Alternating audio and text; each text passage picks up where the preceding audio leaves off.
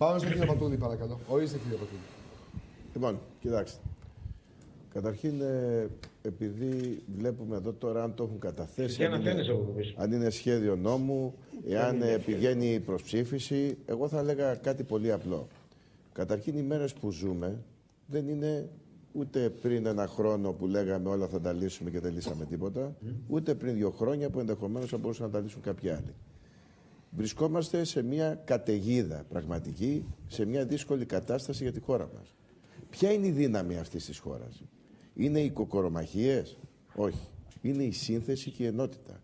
Για να μπορέσεις λοιπόν σε ένα καχύποπτο πολιτικό σύστημα της χώρας μας να κάνεις την υπέρβαση είναι να διαβουλευτείς. Να τους βάλεις όλους πρώτων ευθυνών τους με υπευθυνότητα, με αλήθεια επιτέλους και βεβαίως με αποφασιστικότητα και σχέδιο. Εδώ λοιπόν ερχόμαστε και τι λέμε. Αυτό το οποίο έχει παρουσιαστεί, διότι αυτό δεν προέκυψε μόνο του. Υπάρχει ένα σχέδιο που συζητάνε. Υπάρχει μια πρόταση. η πρόταση. Πρόταση. Γιατί αυτή η πρόταση δεν ξεκίνησε από μηδενική βάση; Να πούμε λοιπόν τις αλήθειες. Άμεσα. Από τον δανειστών, κύριε. Άμεσα. Αφήστε τώρα τους δανειστές τώρα. Πηγαίνουμε έξω στα τεχνικά κλιμάκια και ξέρετε τι λένε, κύριε Παυλόπουλε; Τι λένε; Λένε ότι τα περισσότερα τα λένε μόνοι τους. Αυτά λένε. Και για το φάρμακο και για άλλα πράγματα. Θα πρέπει να σοβαρευτούμε επιτέλους από τη χώρα. Εδώ υπάρχει πολύ ερασιτεχνισμό, τον οποίο έχουμε πληρώσει και πληρώνουμε ακόμα. Σε μια χώρα που καταραίει. Σε ένα σύστημα το οποίο εγώ θα ρωτήσω κάτι πολύ απλό. Εφόσον λοιπόν θα πάμε να συζητήσουμε με το κουαρτέτο. Μπορείτε να μου πει κανείς εάν υπάρχει αναλογιστική μελέτη βάσει αυτού του σχεδίου που θα κάτσουν να συζητήσουν με τους εμπειρογνώμονες του κουαρτέτου που να αποδεικνύει αυτό το σχέδιο εφόσον εφαρμοστεί πόσοι του επιχειρήν επαγγελματίες υγείας, επιστήμονες θα κλείσουν, ναι, πόσος πρωτογενής τομέας θα φύγουν από αυτόν και τι θα σημαίνει σε ένα χρόνο εφόσον θα έχουν να εισπράξουν και από ποιους. Υπάρχει τέτοια αναλογιστική μελέτη. Γίνεται του κασίδι το κεφάλι για άλλη μία φορά. Θεωρούμε ότι πιστεύουμε, νομίζουμε, δεν ξέρουμε, θα δούμε τι θα πει το κουαρτέτο. Ποια είναι η αντίδραση πάνω σε έναν συνομιλητή ο οποίος ουσιαστικά τι του λέμε. Δεν έχουμε πρόταση, δεν έχουμε διαβούλευση. Πες μας τι να κάνουμε. Διότι ξέρετε τι θα φοβηθεί η Ευρώπη. Και ο κάθε ένας υψηλός, ιστάμενος του κουαρτέτου. Μια αποφασισμένη χώρα που ξέρει από αρχή, μέση και τέλος και ενωμένα που πράγματι θέλει να εξορθολογήσει τα κακό κείμενα των τελευταίων ετών αλλά και συγχρόνως αποφασισμένα και ενωμένα και χωρίς κοκορομαχίες. Εδώ κοιτάξτε, είμαστε σε αυτό το πάνελ. Τι βλέπετε εσείς να υπάρχει; Υπάρχει μια εθνική ομοψυχία; Υπάρχει πραγματικά στο πτώμα της χώρας μας καμία διάθεση σύνθεσης; Όχι.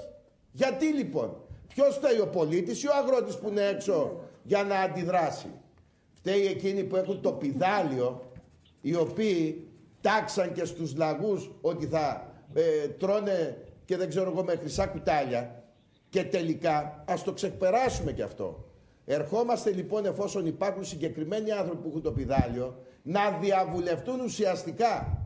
Διότι εγώ θα σας το πω διαφορετικά. Ο καχύποπτος πέστε.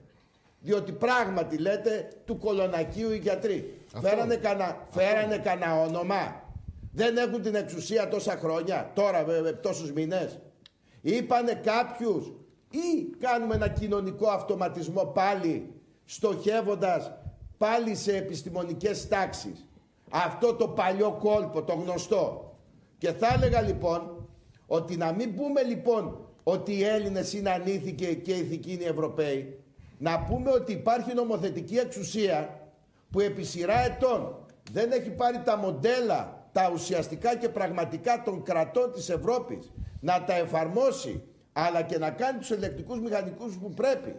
Και ερχόμαστε λοιπόν συνεχώς να διαπομπεύουμε τον κάθε Έλληνα, την κάθε τάξη. Έχει μείνει καμία τάξη; Έχετε μείνει εσείς οι δημοσιογράφοι; Έχουν μείνει μόνο οι βουλευτές, οι οποίοι και για αυτούς ακούσαμε δεν ξέρω σε διάφορες λίστες. Ποιοι έχουν μείνει, πέστε μου. Οι παπάδες, ποιοι; Άρα όλοι οι Έλληνες. Φταίνε λοιπόν οι Έλληνες; Ή ότι δεν έχουμε εφαρμόσει τους κανόνες εκείνους που θα έπρεπε στις άλλες χώρες που εφαρμόζουν χρόνια. Και ερχόμαστε λοιπόν στο ασφαλιστικό. Για να σας πω τώρα. Αφού ερχόμαστε λοιπόν κύριε Παυλόπουλο στο ασφαλιστικό. Λέτε να πούμε αλήθειες. Λέω λοιπόν. Υπάρχει ή δεν υπάρχει αυτό που λέει η κυρία Καρακώστα και στο δική σας τάξη, τεράστια φοροδιαφυγή; Ψο, ακούστε, υπάρχει. Και υπάρχει διότι πάνω απ' όλα δεν υπάρχει φορολογική συνείδηση, την οποία δεν έχει αναπτύξει η κεντρική εξουσία να υπάρχει φορολογική συνείδηση. Το τελευταίο ευρώ πάει εκεί που πρέπει. Και δεν λέω ότι είναι η κυρία Καρακώστα για τον τελευταίο χρόνο. Το δεύτερο όμως, να πούμε ότι πρέπει σε αυτή την καχύποπτη περίοδο, διότι περάσανε τόσα χρόνια, κάτι είπανε και δεν εφαρμόζουν κάποιοι άλλοι. Άντε ξανά το ξαναζούμε. Να διαβουλευτούμε μέσα από μια διαδικασία πραγματική, εθνική, ενωτική, στην οποία να πούμε βγάλτε τις ταυτότητες κύριοι, τις κομματικές, πάνω στο πτώμα θα μιλάμε. Θα πρέπει να διαβουλευτούμε ουσιαστικά και ο καθένας πραγματικά, αντικειμενικά, να βάλει την ίστατη στιγμή αυτό που πρέπει. Τι υπάρχει εδώ λοιπόν; Καταρχήν να σας το πω καθαρά. Εάν εφαρμοστεί αυτό το σχέδιο, τουλάχιστον για τους επιστήμονες, δεν θα πω, υπάρχουν άλλοι που θα πούνε για τις δικές τους ε, απόψεις ε, στις τάξεις τους. Θα πω λοιπόν ότι θα κλείσουν τα περισσότερα ιατρία της γειτονιάς και όχι μόνο των νέων συναδέλφων που δεν έχουν που την κεφαλή κλείνε και φεύγουν στο εξωτερικό αμέσως, αλλά θα αναπτυχθούν τα μεγάλα συστήματα της υγείας, τα μεγάλα deals, τα μεγάλα δηλαδή μονοπόλια, τα οποία μετά το κλείσιμο των μικρών ιατρίων, αυτό που θα κάνουν κύριε Παυλόπουλε είναι ένα να επιβάλλουν και τους όρους στις ανίσχυρες κυβερνήσεις. Και τότε θα δείτε ότι όλο το σύστημα της υγείας, για να μην μιλήσω και για άλλες επιστημονικές τάξεις, θα έχουν το μεγάλο πρόβλημα ποιος, ο πολίτης. Και γι' αυτό ακριβώς οφείλουν ο κύριος Κατρούγκαλος να διαβουλεύεται 24 ώρες το 24ωρο με τους πάντες. Εκείνος διάλεξε μετά από πρόταση του Πρωθυπουργού να είναι Υπουργός Εργασίας. Αν δεν αντέχει, να έρθει άλλος να το αντέξει. Διότι μέσα σε αυτή την καχυποψία, κύριε Κατσίκη, Ακούστε λιγάκι. Εγώ πήγα στον κύριο, πήγα στον κύριο Κατρούκαλο ναι. και μου λέει ελαφραίνουμε λέει την πενταετία των νέων επιστημόνων. Μάλιστα. Ξέρετε λοιπόν κύριε Κατρούκαλε ότι ο κύριος αμέσως ε, ένα δευτερόλεπτο. κύριε Πατούλη. Πείτε, κύριε Λέω ότι ο χρόνος που μιλάει ο κύριος Πατούλης, ας πούμε, να είναι ισόρροπος με τους υπόλοιπους. Σωστό είναι αυτό που λέτε. Τι φοβόσαστε, μήπως ε, σας πάρω κανένα πύχη κομματικό; Σας παρακαλώ, κυρία Όχι, όχι, απλά για να μπορέσουμε να Αν θέλετε. Για να μπορέσουμε να απαντήσουμε. Να απαντήσετε, δεν νομίζω ότι τελειώνει τώρα η εκπομπή. Αλλά θα σας παρακαλέσω να μην προσβάλλετε τον ομιλητή. Υπάρχει άνθρωπος ο οποίος μπορεί να δώσει το μέτρο. Παρακαλώ. Όπως ακριβώς είπατε στον κύριο Σιδηρόπουλο, κάνετε το ίδιο λάθος εσείς. Άρα να μπορείτε να ακούτε και κυρίως αυτό που δεν θέλετε να, μην το πράτετε. Λέω λοιπόν και κλείνω ότι σε κάθε περίπτωση θα έπρεπε ο κύριος Κατρούγκαλος, ονομαστικά το λέω, να ξέρει ότι παραδείγματος χάρη ο γιατρός μόλις τελειώσει το πανεπιστήμιο του παίρνει την άδεια ασκήσεως επαγγέλματος. Αυτό τι σημαίνει. Η πενταετία του είναι το αγροτικό του και τα 4 με 7 χρόνια της ειδικότητάς του. Άρα, ως νέος εξειδικευμένος γιατρός που πηγαίνει να ανοίξει το ιατρείο του, δεν έχει καμία τέλεια ή καμία βοήθεια της πενταετίας γιατί έχει εκπνεύσει. Αυτά λοιπόν δεν είναι ζητήματα που θα τα ήξερε ο κ. Κατρού. Θα μπορούσε όμως να τα μάθει. Μάλιστα. Εάν ήθελε πραγματικά να διαβουλευτεί και να πράξει τα δέοντα. Ακούστε, εδώ πηγαίναμε. Ένα λεπτό κύριε Γιακουμάτο. Πηγαίναμε με ένα μικρομέγαλο. Σας παρακαλώ. Σας παρακαλώ. Δεν διέκοψε κανένα. Πηγαίναμε με ένα μικρομέγαλο τσαμπουκά ενός ο οποίος μπορούσε να οδηγήσει ε, διθέσιο αεροπλάνο και το βάλαμε σε Boeing με θαλασσοταρακή. Ε, δεν γίνονται αυτά.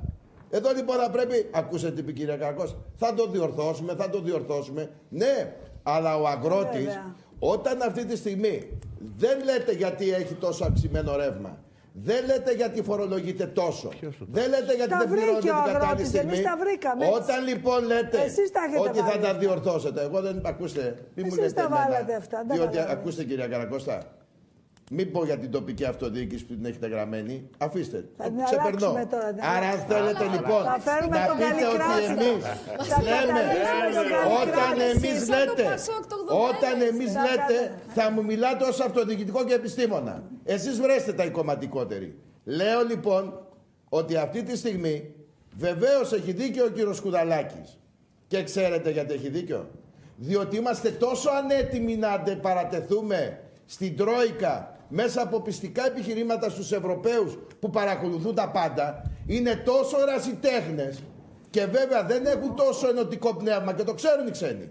Εδώ να πούμε υπάρχουν πέντε γνώμες, πέντε απόψεις ακόμα και τώρα πάνω από το πτώμα στο οποίο λέμε θα το διορθώσουμε. Τι θα διορθώσετε, τον ιό του, αφού πέθανε. Μάλιστα. Εδώ λοιπόν, εμείς τι λέμε κύριε Παυλόπουλε; Εμείς λέμε λοιπόν να σοβαρευτούν όσοι φέρουν τις ευθύνες και ανάλογα με αυτό το οποίο έχουν. Ποια είναι η μόνη δύναμη μας; Δουλειά και ενότητα. Και να ξέρουν λοιπόν ότι αυτή η δουλειά δεν είναι μέσα από μια αντιπαράθεση η οποία η κάθε τάξη μπορεί να σας αντιπαραθέσει πολλά πράγματα. Παραδείγματος χάρη, το ξέρετε ότι 6.500 γιατροί, εάν δεν υπήρχαν σήμερα στη Γερμανία Έλληνες, δεν θα υπήρχε υγειονομικό σύστημα στη Γερμανία. Ξέρετε να το διαπραγματευτείτε αυτό.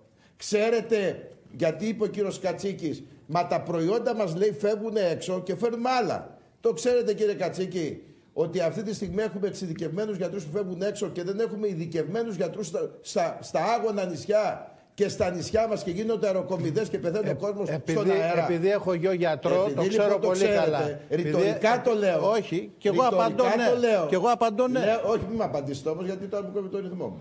λέω λοιπόν, επειδή το παιδιά, ξέρετε κύριε Πατώνα. και ρητορικά το λέω, θα σας πω λοιπόν ότι για να αποφύγουμε τον Brexit, γιατί κάθε φορά θα έρχονται με την ρομφαία σαν τους ISIS και θα λένε φε- τον Brexit, πρέπει να δείξουμε ως χώρα μια σοβαρότητα, ενότητα, τεχνοκρατική διαδικασία και ως ερασιτεχνισμό και αυτό το οποίο έχει κάθε τάξη δεν είναι για να οικονομήσει, ούτε για να τη βάλουμε στο πεδίο βολής. Είναι για να καταλάβει ο πολιτικός που θα ψηφίσει αύριο την ευθύνη που έχει απέναντι στο όταν θα κλείσουν όλοι οι επισήμες και θα φύγουν έξω, θα φέρουμε τους Βουλγάρους γιατρούς να σας κάνει καλά. Αλλά δεν θα Βαλτέρη. φτάσουμε εκεί.